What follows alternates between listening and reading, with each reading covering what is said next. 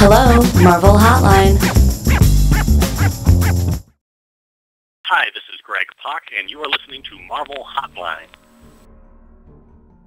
This week we're discussing Heroic Age Prince of Power number one.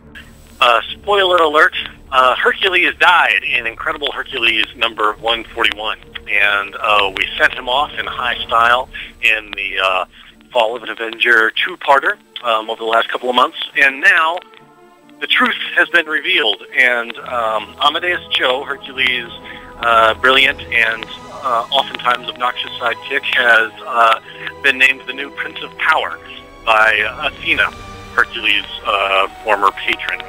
Um, and now, uh, but now Amadeus is going to use that power to do something else altogether. He's not going to serve Athena's. He's not going to do what Athena wants him to do, whatever that may be. Instead, Amadeus has his own agenda, and that is to go find Hercules. Because, again, spoiler alert, as we learned at the end of the Fall of the Avengers miniseries, Hercules is not in Hades, which is where one would expect him to be had he actually been killed. The Prince of Power is going to uh, follow Amadeus as he uh, takes hold of powers no mortal should possess in order to um, break the god's biggest taboos and bring Hercules back to the land of the living. There's just something appealing about having this, you know, brainy, glib Korean American teenager um, teamed up with, you know, some of the biggest, strongest, brawniest uh, characters in the Marvel Universe. They're just some fun contrasts there.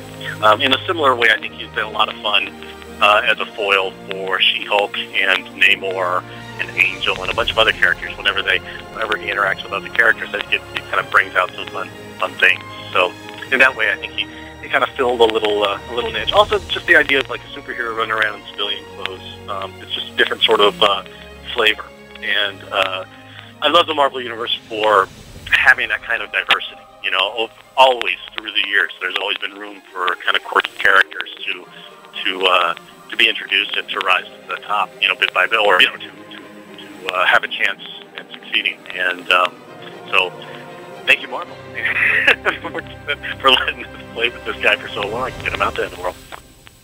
My name is Greg Pak, and you've been listening to Marvel Hotline. Marvel, your universe.